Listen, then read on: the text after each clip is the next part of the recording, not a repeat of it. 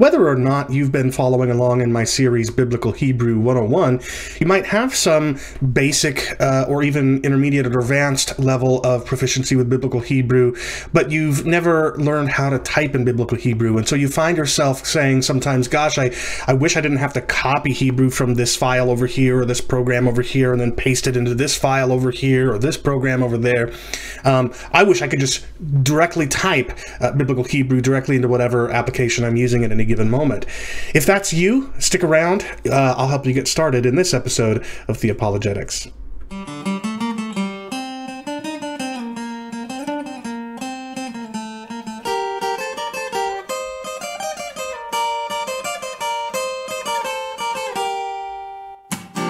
This is Chris Date, and welcome to Theopologetics, where every other week I discuss a wide variety of theological issues and show how a properly biblical worldview can help defend the historic Christian faith from its critics. Join me as we think through what we believe and why we believe it, and not something else.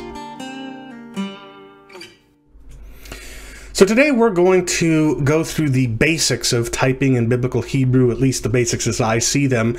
This is just to get you started typing in Biblical Hebrew. I'm not going to be doing a full-fledged detailed tutorial on how to type this or that word or how to get how to get your fingers used to uh, typing the keys that you need to press in order to type Hebrew. You know, that kind of stuff is simply going to come through practice. Um, but the hard part in learning how to type Hebrew is often just getting started started? What do I what do I even do to get started effectively typing in Hebrew? And that's what I want to help you to do in this video today. So hopefully um, hopefully this is enough to get you confident enough to take the basic steps I'm going to walk you through today and then just throughout the week when you have time here and there do some practice with it and you'll get the hang of it pretty quickly I promise. So what I want to first talk about very briefly is why you might want to learn to type in Hebrew. If um, if you are watching this video and you aren't the kind of person that I mentioned earlier who has found him or herself wishing uh, he or she were able to cop uh, avoid copying and pasting Hebrew so they could just type it right in. Um, if that's not if, if that's not you, then maybe you need a little bit of um, persuasion. You know, maybe you need to be persuaded as to why this is a skill worth learning. And I hope to give you at least some reasons that might give you uh, might give you pause, might might cause you to consider um, beginning to take up this skill. Firstly, and this is for if this is especially if you're a Hebrew learner, not somebody that's already got some level of proficiency in it, I think you're going to find yourself more easily able to remember your vocabulary if you type it out your own, on your own flashcards rather than use pre-existing flashcards. Um, now, a caveat here: according to some studies, writing with your hand uh, your flashcards will be an even more effective way of remembering your vocabulary. And I'm not challenging that notion here. That may very well be the ideal um, for uh, for for learning your vocabulary. That's not my. I don't want to do that though. Um, I am a software engineer professionally, and I spend a lot of every single day on a keyboard in front of a uh, in front of a computer. And frankly, I try to avoid handwriting anything at all cost. Uh, maybe not all cost. Um, so so if you're the kind of person like me who um, doesn't want to go so far as to be writing out my Hebrew flashcards, but you would like to better remember your vocabulary and its spelling than you might ordinarily do if you're purchasing a pre-existing flashcard set from the internet or something like that, uh, then I think you'll find that if you type out your own flashcards, which by the way will entail some trial and error. You'll have to um, uh, you'll, you'll you'll find yourself making a mistake on a vowel here or there while you're typing your flashcards out. Those mistakes, that kind of trial and error, is part of the very process by which you will better learn your vocabulary and its spelling. So typing out your own flashcards is a way that's uh, is going to help you, I think, to better remember your vocabulary and its spelling than if you than if you use prepackaged pre-existing ones. Also, uh, and this is important if you're an academic or a blogger, something like that, you'll be more easily able to add Hebrew words and verses from Scripture in your academic papers, papers that you can turn in in your, you know, for class assignments or submit to journals if you would like them to publish your work, that kind of thing. And it will also make it easier for you to type uh, Hebrew words and verses in blog articles. If you're somebody that likes likes to blog on biblical and theological issues, learning how to type biblical Hebrew will make it easier for you to add Hebrew into your articles than if you have to copy and paste from some other program. So these are some examples of reasons why uh, it will behoove you, it will benefit you to learn how to type in Hebrew. Another one is you'll be able to more easily uh, use Hebrew on social media. Um, so if you're like me, you find yourself periodically, or maybe more than periodically, getting into arguments on Facebook about this or that biblical interpretation or the, you know doctrine of theology, and um, and and sometimes appealing to the biblical text in its original languages is going to be a part of an effective argument in uh, you know in in a comments thread or something on social media. So if you learn how to type your Hebrew, then you'll be able to do it right there faster and more easily than if you had to switch to some other application, copy the Hebrew, paste it into social media, you know, on Facebook or whatever, that's going to be a longer and more tedious process than if you just type it in right there yourself. So that's one reason. And then lastly, and this here I'm going to try, I'm going to appeal simultaneously a little bit to your pride and to your desire to share the gospel with people who need it, because I think that by learning how to type biblical Hebrew, you can, uh, you might impress Jewish acquaintances, Jewish coworkers, friends, family, um, uh, colleagues, you know, a variety of different people that you might just happen to know for one reason or another. If they're Jewish, um, being able to type in Hebrew might impress them, and so that was the part that's appealing to your pride. But it also may give you an opportunity to have conversations about the gospel with them. If you have a, if you can make a point of connection with your Jewish acquaintances, and, and here I'm talking obviously about Jewish non-Christian acquaintances, sometimes when you make a connection, whether it's because you can type in Hebrew or for some other reason, um, it will open the door to have important gospel conversations with them. So that's another reason to consider learning to type in Biblical Hebrew. Um, there are other reasons, but I think this is a good start. Hopefully, you can find one or more of these reasons, uh, encouragement to you to pick up this skill. Now, I want to talk briefly about the importance of actually typing in Hebrew rather than pretending that you're typing in Hebrew, which is why I've got up on the screen making it, not faking it. Um, let me explain what I mean by that because it's probably not going to be immediately clear um, if you're not a tech guy like I am, somebody who's you know works in software and stuff like that. Um, the issue here is that some seemingly typed Hebrew isn't really typed Hebrew and is in fact merely a, merely a font applied to English that gives it the appearance of Hebrew. So you remember, for example, the font Wingdings or something like that, you know, back from the Windows 3.1 days, uh, where your English characters, when you apply this particular font to it, it changes them into little cartoons, and, and it's just a fun thing, and it, you know, it's it's just cartoony and stuff. Well, those are actually English characters in code. You know, your your your operating system sees them as English characters. It's just applying a font to make it appear a certain way to the viewer of the screen or document or whatever. Um, so, for example, this is the way that BibleWorks worked before it um, went under. I'm pretty sure BibleWorks has gone under, and now uh, the better programs, Accordance and Logos and things like that, are, are still being used and are gaining in popularity. But but BibleWorks did exactly this kind of thing. So here, for example, if you used BibleWorks, you might be familiar with charts like these that map for you um, the character you want to press on your keyboard um, that will be displayed as a particular font. Um, so you can see that a capital A, if you type the capital letter A and you apply the BibleWorks Hebrew font to it, it will, instead of showing the letter A, it will show the, the Holam Vav. Right? And similarly, a lowercase a, when you type it in and you apply the biblical Hebrew or the BibleWorks Hebrew font to it, it will make that a appear as an aleph. Right? Um, now, this might seem like you're typing in Hebrew, but it's not. And you'll know this because any system lacking the font that you use is going to fall back to a standard English font like Times New Roman or Calibri or, you know, any of the other uh, Trebuchet, any, any of the common, you know, very popular system uh, default English fonts. A system that doesn't have uh, the Hebrew font you've used is just going to fall back on one of those English fonts, and then you're going to see um, the English characters that are that were masked by the Hebrew font instead of the Hebrew characters you intended to display. So, for example, um, if you had tried to produce the word bayit by typing the English characters that are masked by Hebrew when you apply the BibleWorks font, if you if you try to do that and then you copy the file to some other system or you send it in, in email or something, and the system that is trying to render that text doesn't have that Hebrew font on it, they're going to see gibberish like TLY colon B. The, the T there stands for the taf. The um, the uh, I there is the um, the hirek, the Y is the yod, the colon is the um, patach, and the capital B is the bait with a dagesh in it. All right, so so you can see hopefully how um, uh, how the English characters are masked by applying the font to make it appear as if you're typing in Hebrew when you're really not. And then, like I said, you're going to see gibberish when you paste into other documents or load it up on other systems, etc.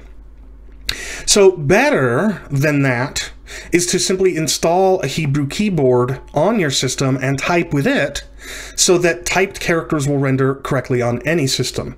Now, I could go into a little bit more detail here, um, given my software background, but I don't know how interesting that is to you, and many of you, it'll just, it's something you won't have any concern about. So I'm not going to do that, but just suffice it to say that um, if you install a Hebrew keyboard on your system and you type with it, then virtually any other system, any other application is going to be able to render that just fine using virtually any ordinary font.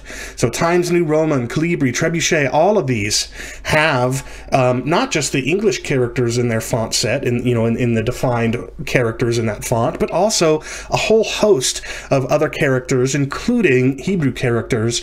Um, and if the word for this extended character set that virtually any system is going to be able to display is called Unicode, and um, uh, and, and when you type using Hebrew keyboard, you're typing in Unicode rather than in the, um, the much more limited character set of English characters.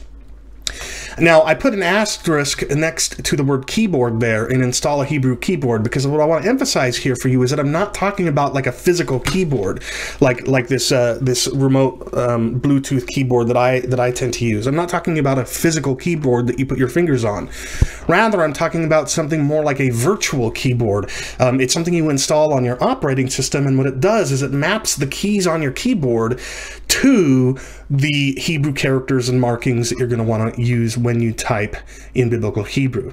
So in the remainder of our time today, what I'm going to do is show you how to install one of these um, virtual keyboards on your operating system, whether you're working in Mac OS or Windows, specifically Windows 10. Um, if, it, if, if you've got an earlier version of Windows, you can easily find out how to do this online. Um, and you can shoot me an email if you want, and, and I'm happy to um, uh, to help you with that.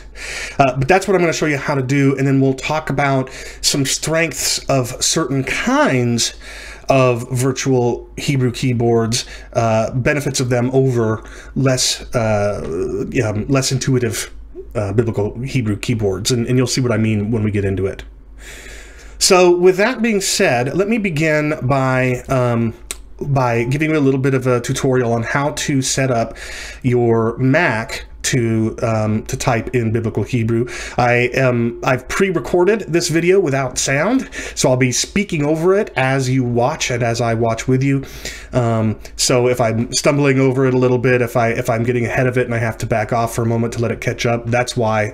Forgive me. Um, but I'm I do these recordings like the one that you're watching right now on my Windows machine, and so I couldn't uh, and and I don't have all of my sound equipment hooked up to my Mac and stuff like that. So that's why i have done it this way.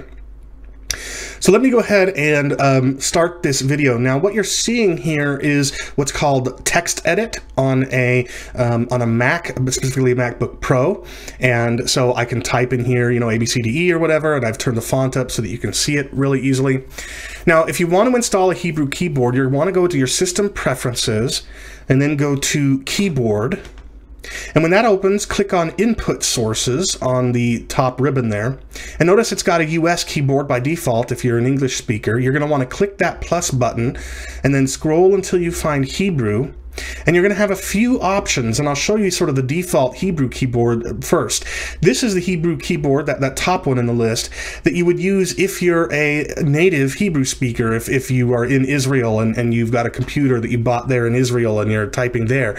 You would probably use that keyboard, and I'll show you what that's like in a moment. And I'll show you what I'm about to do in the system preferences in a moment. But notice that since I added the Hebrew keyboard, the American flag shows up at the top of the screen, and I can click on it and change to Hebrew, and that's how you'll switch between your input languages. To see this in action, go to your system preferences again and go to accessibility and then go down to keyboard go to the accessibility keyboard on the top right, and then check enable accessibility keyboard. The benefit of this, um, and, I'm just doing this for you right now, the, benefit of this is that you can see the map of the keys on your keyboard to the corresponding Hebrew characters. There's the English keyboard, and then you switch it to Hebrew. Here's the Hebrew keyboard, and notice that there's no um, there's no intuitive correlation between where the characters on the keyboard are and the English character that's ordinarily on it. So here I'm typing out the word bayit, and the bait is like on the C key, and the yod is on the H key, and the tav is on the N key or something like that. So they don't really, there's no intu intuitive mapping there, and it's even more difficult to access the nikud, the, or the nikudot, the, the vowel markings and things.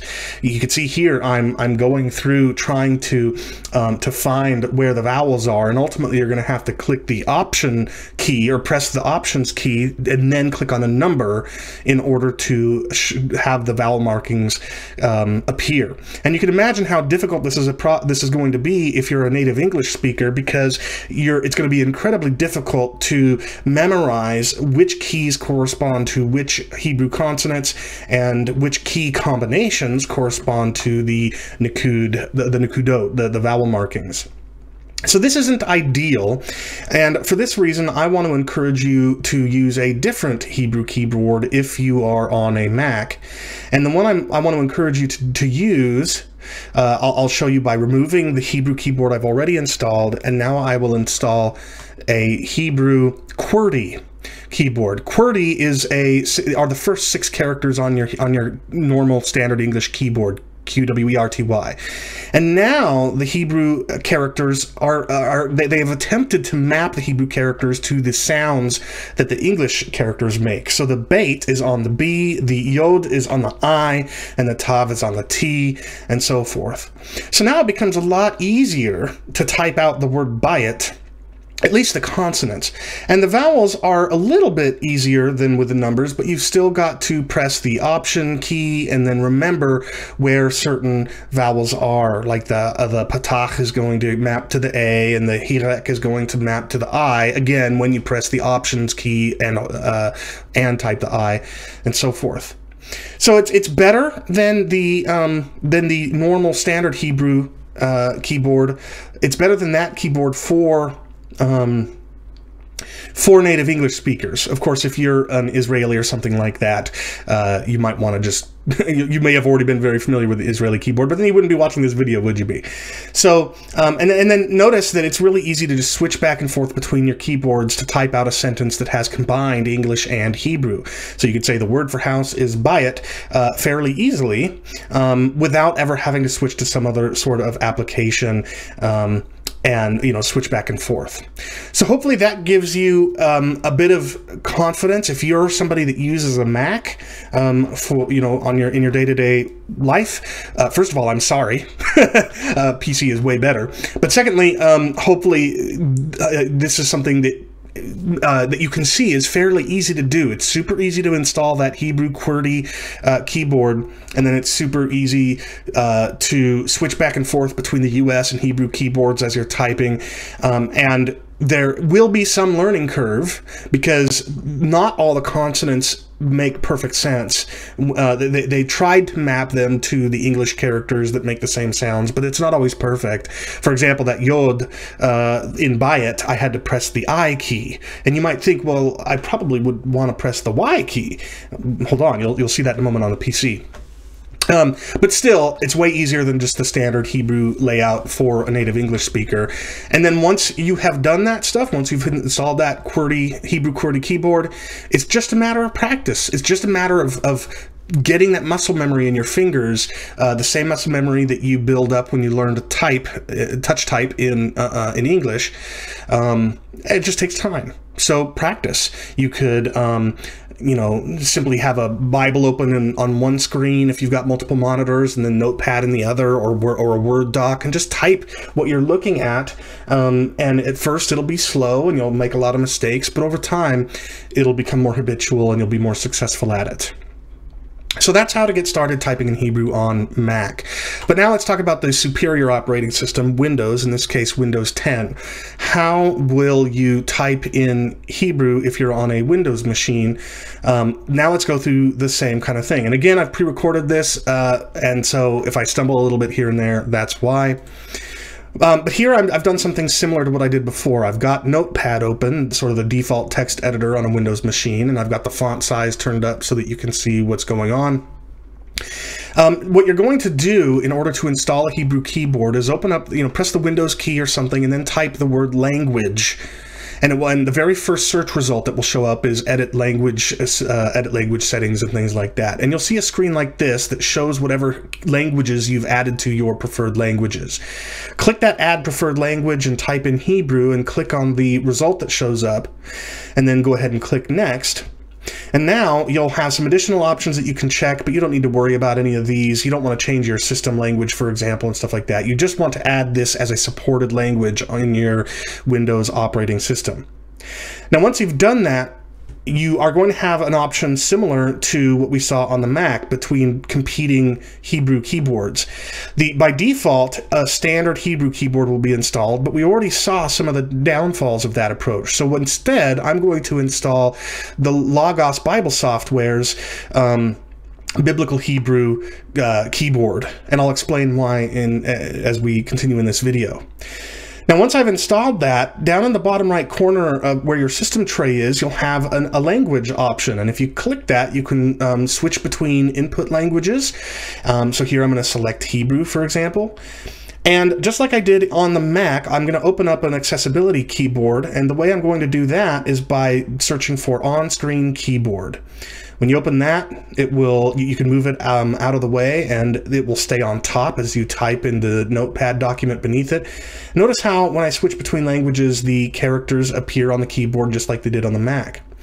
And notice that here we also have the characters um, mapped to the keys in an intuitive way for English speakers, but it's even better, I think, than on the on the Mac because you have the bait associated with the B key, and you have, but you also, but you have the yod associated with the Y key, which is kind of what you would expect.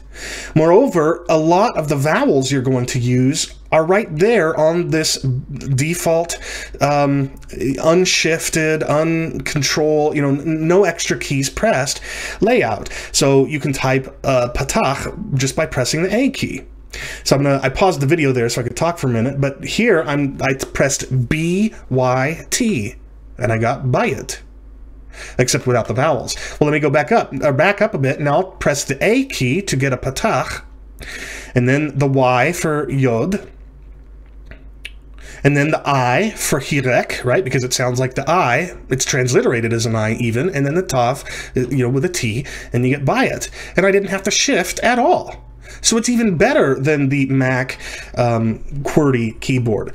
Now, it's very easy to switch languages by simply clicking on that um, language option and selecting one of the keyboards, but you can also just press and hold the Windows key and press space, and it will automatically cycle one by one through your uh, through your supported languages.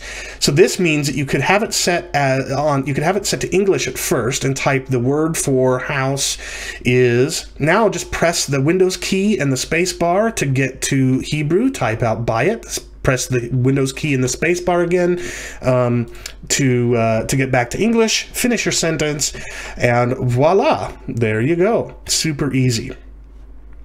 So then the question becomes, well, how do you get so as probably is clear, maybe not, but as probably is clear, Windows operating systems don't come with Logos Bible software installed on them, um, uh, or anything Bible Logos Bible software related. So naturally, your question should be, well, how do I get this Logos Biblical Hebrew keyboard installed on my computer? So let me um, tell you about that. And just to be clear, you do not have to have a Logos Bible software subscription subscription. You don't have to have the software installed on your on your um, on your uh, on your system or anything like that. All you got to do is um, go to Google and search for Logos Biblical Keyboard or, you know, um, something along those lines. And one of the top results is going to be original language keyboards for Windows. So they don't have a Mac version of this, which is unfortunate, at least for those of you who are unfortunate enough to work on Macs. Um, but these keyboards, and they're, it's not just Biblical Hebrew, they also have Greek and they have a transliteration keyboard. Um, they, they, they walk you through how to install any one of these keyboards on your system. It's really straightforward forward, and it's free. You don't have to pay to install this software on your machine. So now once you've installed it, one of the things you'll have access to is a PDF user guide that shows you how to use the Logos Biblical Hebrew keyboard. And you can learn all about the um, the, uh, the the uh, the thought that goes that, that the Logos Bible software team has put into deciding where to map what characters to what keys, etc. Um, but what's really helpful in this document down at the bottom is that they show you uh, they have a map that you can refer to, and I'm still referring to it periodically, that will show you which keys on your keyboard correspond to uh, which um, uh, which con- which characters. And notice that there are it walks you through what the map is depending on whether you're pressing a um, the Alt key or uh, Shift key or the combination of them both or whatever. So it's really helpful because then you have access not just to the uh, the Hebrew characters that are mapped to familiar English keys, but also to the final forms of those characters, the ones that have final forms, as well as other diacritical marks like you can see on the screen right now. So I highly recommend if you want to learn how, if you want to do typing in Biblical Hebrew on a Windows machine, on a PC, then I highly encourage you to go with the Logos Biblical Hebrew keyboard. Again, it's free. You don't have to have a subscription. You don't have to have the Logos software installed on your machine, any anything like that. You just simply uh, go to their website, add the add the free item to your cart, um, you know, submit it. You'll be given a link to where you can download and install the keyboard and then just refer to that PDF user guide in order to um, familiarize yourself with which characters are mapped to which keys. But again, the benefit of this keyboard is that you'll be able to do a lot of basic typing without even referring to that user guide. Because again so many of the consonants and vowels are just mapped to their core to the english letters that you would think well the ones that you use in transliteration. So again the b for bayit and the a for patach and the y for yod and the i for hirek and the tav the t for tav. It just makes sense. It's intuitive to native english speakers who are learning biblical hebrew so, um, so that's how to get started. Now, again, just to reiterate, I'm not going into a full-fledged tutorial beyond what I've walked you through so far because there was really at that point nothing to walk you through except um, you need to practice typing Hebrew and familiarize yourself uh, and, and build that muscle memory in your fingers and all those kinds of things. It just takes practice, practice, practice. But as you can see, getting started, getting to the point where you can even start practicing, whether you're on Mac, or on the superior Windows operating system.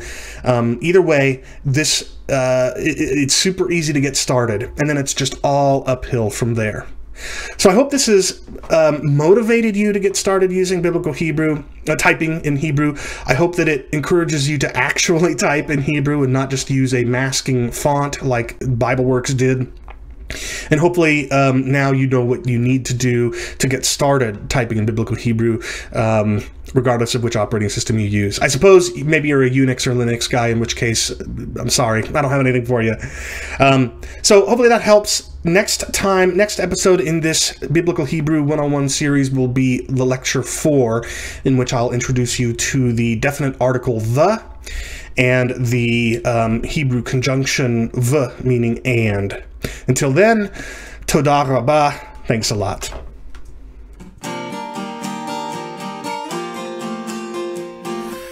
Been your host, Chris Date, and thanks so much for watching Theopologetics, where we think together through what we believe, why we believe it, and not something else. If you've enjoyed this episode, please click the thumbs up, like icon, the subscribe button, and the bell icon to receive notifications when new videos are streamed or uploaded. Either way, come back in two weeks for the next episode of Theopologetics, streaming live on YouTube every other Monday at 6 p.m. Pacific. Until then,